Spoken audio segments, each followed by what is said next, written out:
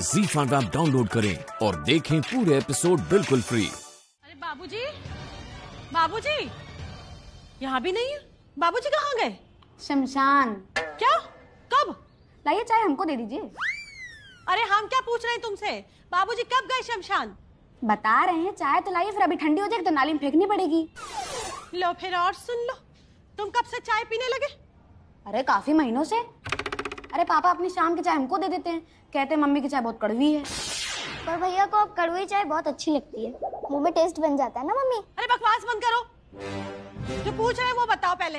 बाबूजी कब गए शमशान? यही कोई डेढ़ दो घंटा पहले निकले हैं शांति बिटिया।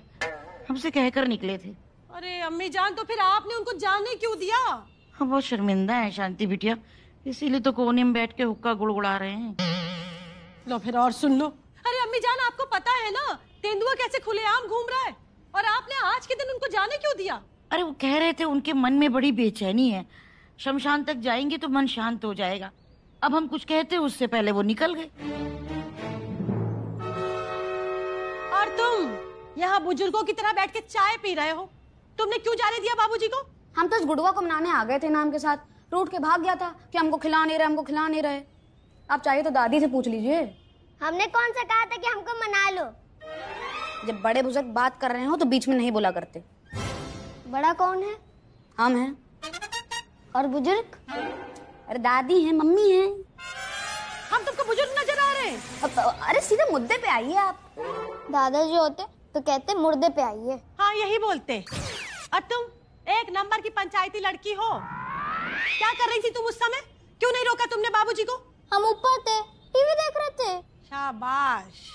शाबाश बहुत बढ़िया। मतलब एक से एक चुन के नमूने बच्चे पैदा किए हैं हमने भी। अरे शांति बिटिया ये सब बात छोड़ो। और रमेश को फ़ोन करो कि मास्टर जी अभी तक नहीं लौटे। अरे अम्मी जान अब हम फ़ोन करेंगे ना तो उल्टा हमको सुनाएँगे। आप सुनने वाली पार्टी कहाँ है?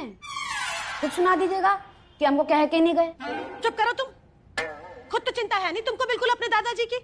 और हमको मार हमको सुझाव दे रहे हैं। हमने दादाजी से सीखा है। कि चिंता चिता समान होती है। हरी बोल।